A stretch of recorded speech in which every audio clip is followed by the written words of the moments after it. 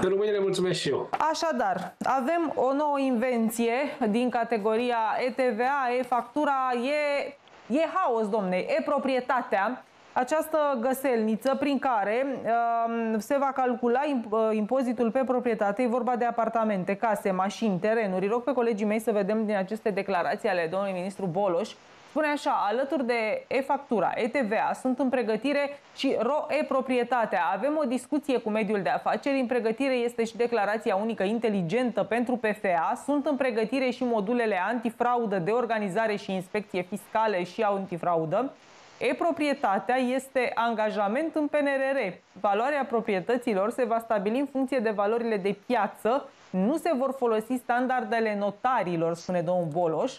Și acum să vedem uh, partea interesantă. De unde avem valorile? Se întreabă singur domnul Boloș, sigur. E un miraj, domnule ministru Boloș.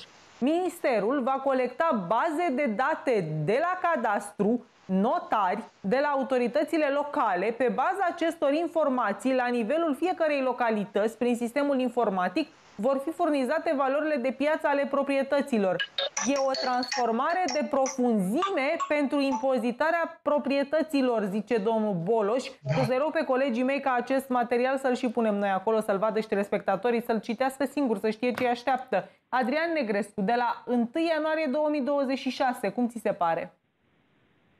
E, Doamne ferește să ajungem la așa ceva, că practic prin această decizie statul va stabili care sunt prețurile de referință ale imobiliarilor, ceea ce din punctul meu de vedere reprezintă o intervenție cu picioarele, ca să nu zic altfel cu bocancii, în piața imobiliară. Practic statul uh, își arogă dreptul de a crea o formulă de calcul a prețurilor de referință în imobiliare, pe baza datelor pe care le-ați prezentat dumneavoastră. Ce caută statul în a stabili valoarea apartamentelor din această perspectivă e un mare semn de întrebare, care demonstrează faptul că autoritățile încearcă prin această metodă să blocheze, să, să intervină și mai mult în piața liberă. Mie mi se pare o greșeală fundamentală. Sper să nu se ajungă la acest lucru, pentru că, um, dincolo de resorturile pozitive, de ce vor să facă de fapt acest sistem de proprietatea? Că tu dacă ai mai multe proprietăți în mai multe localități din țară, practic prin integrarea tuturor bazelor de date, statul să aibă acces la informație și în acest fel să stabilească impozitele pe proprietate, probabil și un impozit global ca urmare a acestor dețineri multiple de, de proprietăți.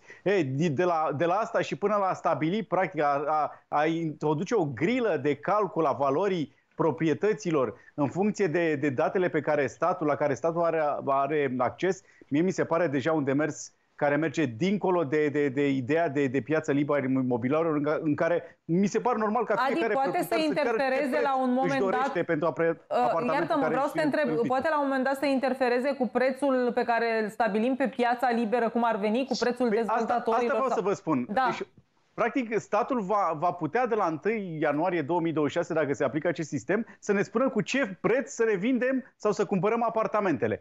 Ei, din această perspectivă, mie mi se pare că e o intervenție destul de bizară în dreptul de proprietate și de administrare a proprietăților. Dincolo de normalul da. de a taxa mai mult, um, de a încerca să practic să obțină mai mulți bani din taxarea proprietății. Bun, domnule ministru Tătaru,